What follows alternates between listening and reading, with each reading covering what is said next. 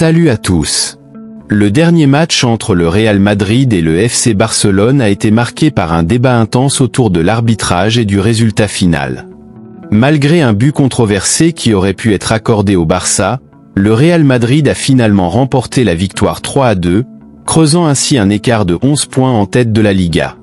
Les supporters du Barça expriment leur frustration face à cette défaite, pointant du doigt l'arbitrage et remettant en question la performance de l'équipe.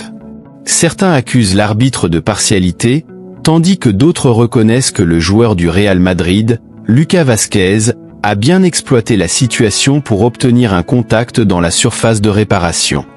Cependant, l'absence de la technologie de la VAR dans ce match suscite des critiques, certains estimant que cela aurait pu clarifier la situation.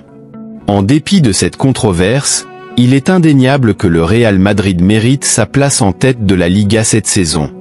Cependant, la discussion dépasse le simple résultat du match, avec des interrogations sur la qualité actuelle des équipes et l'absence de figures emblématiques comme Cristiano Ronaldo et Lionel Messi. Certains estiment que le niveau global du football a diminué, ce qui se reflète dans des matchs moins spectaculaires et moins mémorables. En fin de compte, bien que le débat sur l'arbitrage et le résultat du match soit important, il soulève des questions plus larges sur l'état actuel du football.